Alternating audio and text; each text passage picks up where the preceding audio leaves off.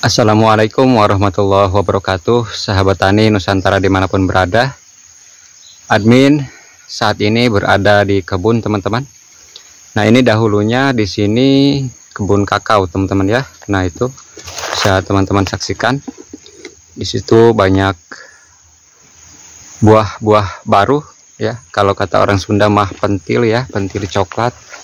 Yang konon kabarnya ini tanaman coklat sekarang harganya lumayan mahal teman-teman. Nah kita tidak membahas coklat teman-teman karena kita akan fokus pada channel yang baru-baru ini membuat kurang nyaman bagi petani sebetulnya. Dan admin sendiri tergugah ya untuk upload video kembali setelah ada video-video yang sedikit mengganggu petani teman-teman baik itu petani pemula ataupun petani yang sudah lama ya seperti Mimin sendiri. Nah, di sini di lahan ini ini dulunya kebun kakao, teman-teman. Tapi karena memang waktu itu harganya murah, maka kebun kakao ini ditebangin, teman-teman. Dan itu bekas-bekas nebangnya ya. Ini dirombak menjadi lahan pertanian. Ini waktu itu ditanamin jagung, teman-teman ya, tanamin jagung di sini. Tapi sepertinya tidak terlalu subur lahannya teman-teman ya.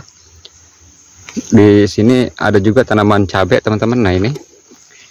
Ini tanaman cabai seperti ini teman-teman.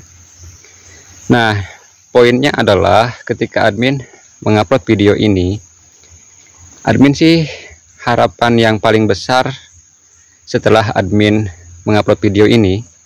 Teman-teman silahkan fokus aja ke tanaman teman-teman. Itu poinnya ya teman-teman fokus saja ke tanaman teman-teman. Bagaimana caranya supaya tanaman teman-teman itu tidak seperti ini ya? Ini saja poinnya teman-teman ya. Jadi nggak usah terlalu memperdulikan eh, video-video uh, baru ya ataupun channel-channel baru yang sengaja memang dia cari penonton teman-teman ya. Bahkan berani ya berani berhadapan dengan Pak Rijali Ansar ya Pak PPL ini sangat konyol sekali menurut admin ya ya sebetulnya ya pendapatnya tidak terlalu jauh perbedaannya teman-teman ya. Hanya saja mungkin channel yang ada yang pansos gitu ya pengen cari penonton pengen gede gitu mungkin gaji YouTube-nya ya karena view-nya sedikit.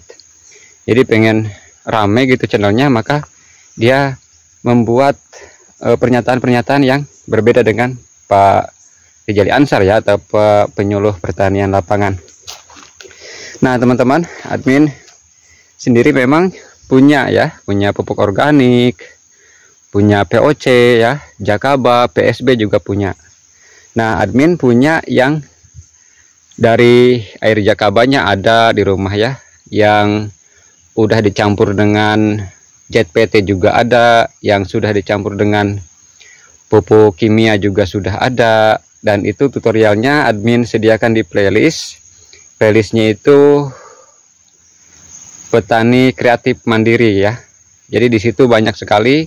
Dan ada juga playlist yang khusus ya. Itu playlistnya cara membuat pupuk. Sebetulnya sih bukan membuat pupuk ya. Kita berusaha bagaimana caranya agar pupuk kita yang tadinya harus keluar biaya banyak menjadi biayanya lebih kecil ya. Lebih murah lebih hemat. Nah seandainya Mimin memang dari Januari kemarin sampai saat ini masih posting tentang ini tentang pupuk mungkin Mimin sudah tahu dari waktu itu ya dari beberapa bulan yang lalu. Nah harapannya setelah ada video ini kita lebih baik suburkan saja tanaman kita kita pahami saja apa yang mesti kita lakukan ya. Nah ini contoh yang seperti ini.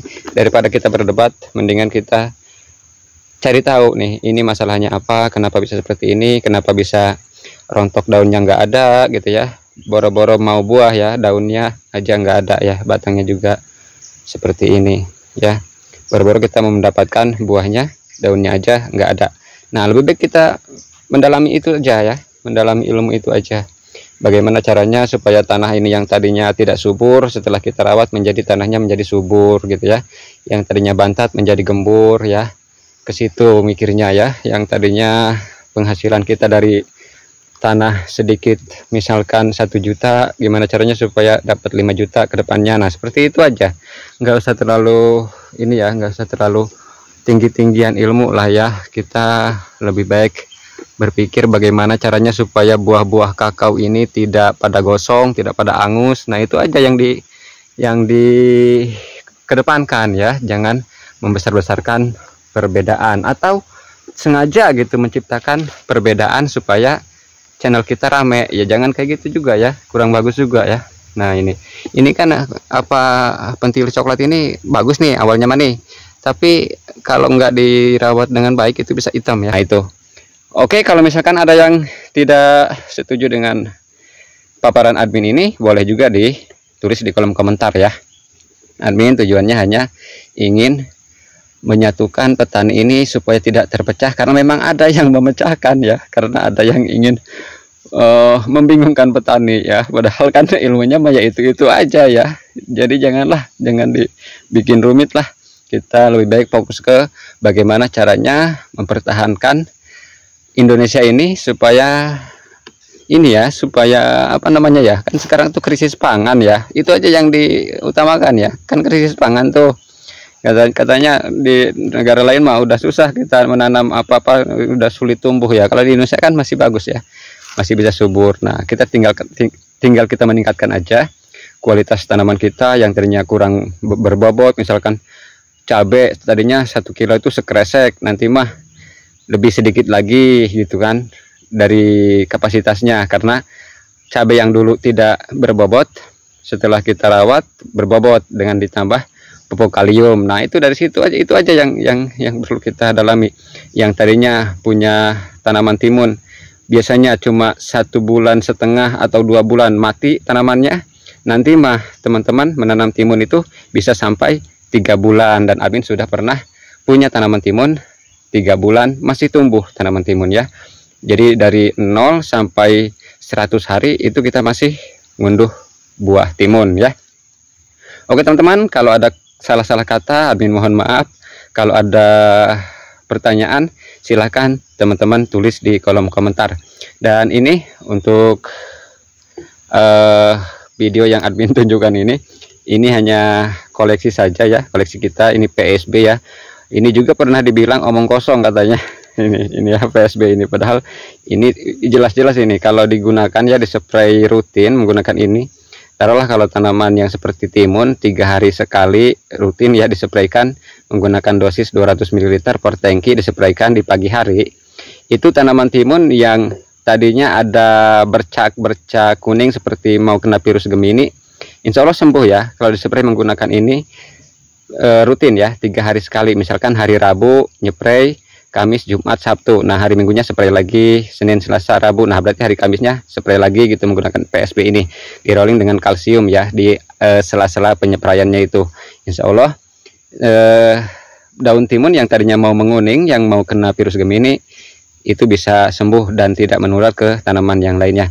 Oke, teman-teman, ini saja untuk teman-teman yang sudah terlanjur menonton video dangdut ya video-video dangdut. Mimin hari ini udah lama ya udah se hampir 10 hari ya nggak ada job manggung. Jadi untuk sementara ini kita upload video pertanian dulu teman-teman ya.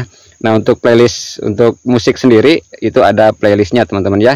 Yang dapin musik ada yang alpanada juga ada yang musik-musik lainnya juga ada. Playlistnya ada teman-teman ya. Pokoknya di sini kita tetap konsisten upload video baik itu yang pertanian ataupun yang di dunia musik teman-teman ya. Abin akhiri wabillahi taufiq wal hidayah. Wassalamualaikum warahmatullahi wabarakatuh. Salam hijau